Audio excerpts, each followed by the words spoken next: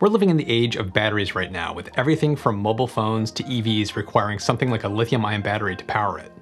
And after my previous videos on EV myths and the future of battery technology, I thought it was a good time to take a look at one of the big looming issues with lithium ion batteries. Around the world, only about 5% are getting recycled because it's more expensive to recycle than to mine for new materials. The remaining 95% often find their way into dangerous stockpiles or landfills, which can leach toxic chemicals into the groundwater or explode if not handled properly. In comparison, nearly 100% of lead acid batteries are recycled, mainly due to the fact that we can economically recycle the contents.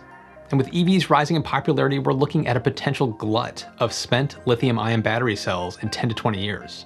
By 2040, it's expected that half of new car sales will be electric.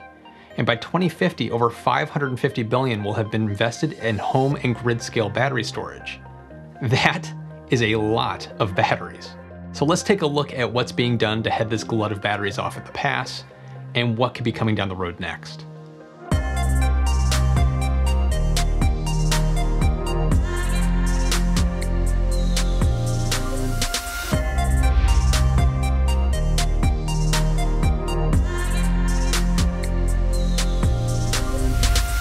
There are companies around the world that are already recycling lithium ion batteries, or are building out pilot facilities right now.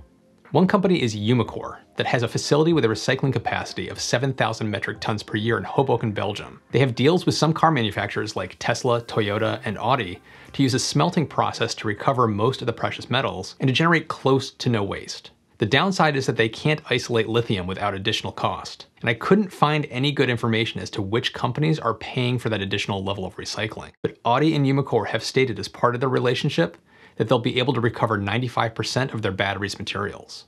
When it comes to EV batteries specifically though, they don't have to be recycled when they're no longer acceptable for use in a car. EVs have very specific needs for rapid charge and discharge cycles, but a spent battery from an EV is still capable of holding about a 70 to 80% charge and being used in more scenarios, like your home or a grid scale storage. Some companies like Renault and Nissan are doing just that. Renault's batteries are getting reused by PowerVault, a London-based company that can be used to store a home's solar production and to discharge it at night.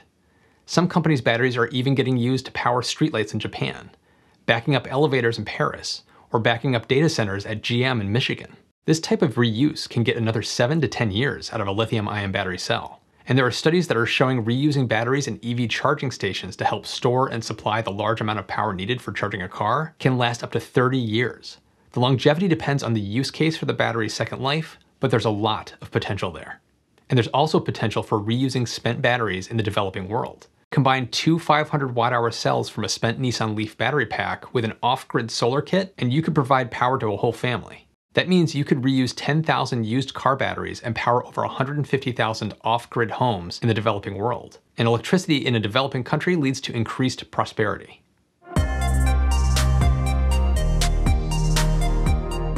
While our battery recycling and reuse capacity around the world is still ramping up, Research into new technologies and methods could make recycling cheaper and more efficient. Researchers at the Michigan Technological University resurrected an old mining technique to separate battery materials for recycling and reuse. As one of the researchers commented, we use standard gravity separations to separate copper from aluminum, and we use froth flotation to recover critical materials including graphite, lithium, and cobalt. These mining technologies are the cheapest available, and the infrastructure to implement them already exists. It's a creative and practical solution to use existing technologies to take on this growing problem.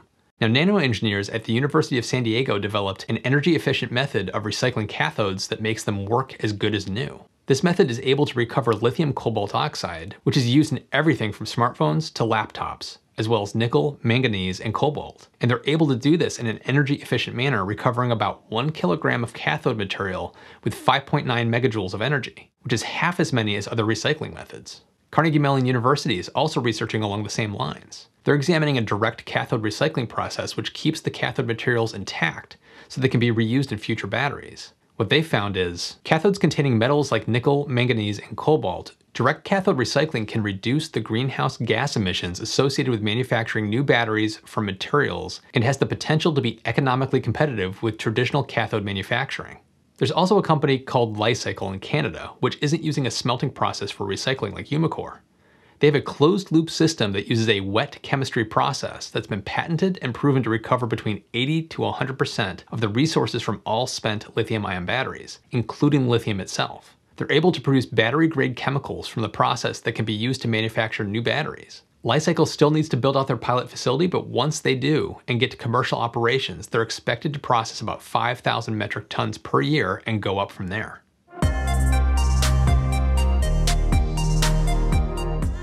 It can't only be through research to get this figured out though. We also need policy changes and education around the importance of recycling and reuse programs. 5% recycling today is just not good enough. China, which is the largest EV maker in the world, has rules that require automakers to be responsible for their old batteries to keep them out of landfills. The EU also has rules with their innovation deal, which tackles battery recycling and the virtuous loop of the electric vehicle. Compared to the battery recycling efforts around the world, the US is a little late to the battery recycling party. Better late than never though, the US Department of Energy announced at the beginning of 2019 the launch of a lithium-ion battery recycling prize in a battery recycling R&D center called ReCell at the Argonne National Laboratory. The centralized research center and prize is meant to incentivize participation from companies across the US and to take some of the R&D financial risk out of the equation. No matter the company or the country, the ultimate goal is a closed loop system where a manufacturer could recycle nearly 100% of all materials to produce brand new batteries. Being able to recover materials like copper, cobalt, lithium, and more from spent battery cells could lead to cheaper battery production because it would cost less to recycle than to mine for new materials. Mining has significant impacts on the environment and people that live in that area. While lithium is often found in brine salt flats, pumped to the surface and then the water evaporated off, it has a lasting effect on the soil where the extraction takes place and also can cause air contamination. Some companies like Tesla are also researching ways to improve their current recycling processes and want to get to a point where they can recycle at the gigafactories themselves. So we have current uh, partner companies on every major continent where we have you know, uh, cars operating that we work with uh, to, to do this today. And in addition, we're developing internally uh, more you know, processes. We're doing R&D on how we can you know, improve this recycling process to get more of the active materials back. And ultimately, what we want is a closed loop right at the gigafactories that reuses the same recycled materials. You know, this isn't impossible. We, we see a pathway to do it. But uh, you know, that, that's where we're headed with this. And you know, today, the you know, it, we're on the way to do that. It, it's definitely a, something that will be a huge benefit in the long term to cost as we're able to reprocess more materials instead of actually having to mine new materials. This type of system could be incredibly cost efficient and reduce manufacturing costs even further. While the impending glut of batteries is a problem, we have time to figure things out. We have time to build out plants and to prove out these newer recycling methods. And if you look at the amount of research and companies getting in on this, I don't think we're gonna have any shortage of ways to deal with it. There's money to be made in recycling, as well as government incentives and laws that are pushing companies around the world to figure out the problem. But we also need to educate ourselves and do our part when our battery-driven electronics hit the end of life. If you like this video, be sure to give it a thumbs up and share it with your friends because it really helps the channel. And comment below on what you think could be done to improve that 5% lithium ion battery recycling. And if you'd like to support the channel, there are some ways that you can do so. Want some cool t-shirts like the one I'm wearing? Check out my SFSF shop for some cool Tesla, SpaceX, science, and undecided t-shirts. Every purchase helps to support the channel. And a very big thank you to all of my Patreon supporters. Your support and encouragement really goes a long way. And you can also become an undecided supporter on Patreon to help grow and shape the channel. If you're interested, please go check out my Patreon page for additional details, and I hope to see some of you over there. And if you haven't already, consider subscribing and hitting that notification bell to get alerts when I post new videos. And as always, thanks so much for watching, and I'll see you in the next one.